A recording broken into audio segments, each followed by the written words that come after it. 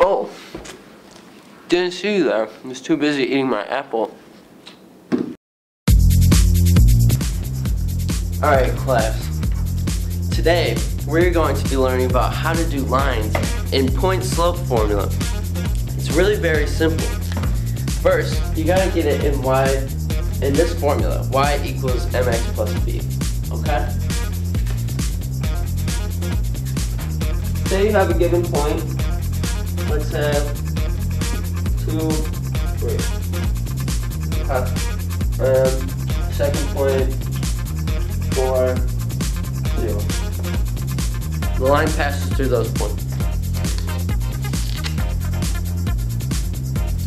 You go y2 minus y1 over x2 minus x1. Okay? So, y2 would be 0 minus 3 over 4 minus 2. The slope would be negative 3 halves. Okay?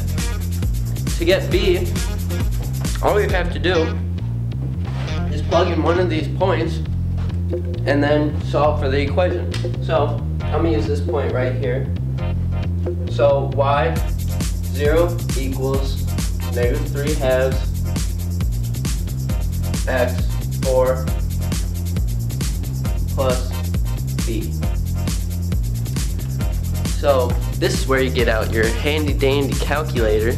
I'm using the TI 30XS multi-view and this is a very um, standard calculator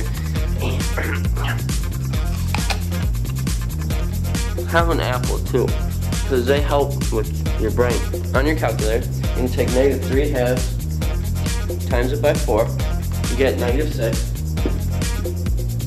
and then you're going to add that to both sides so 6 equals b therefore the line would be y equals negative 3 halves x plus 6. And I finished my apple.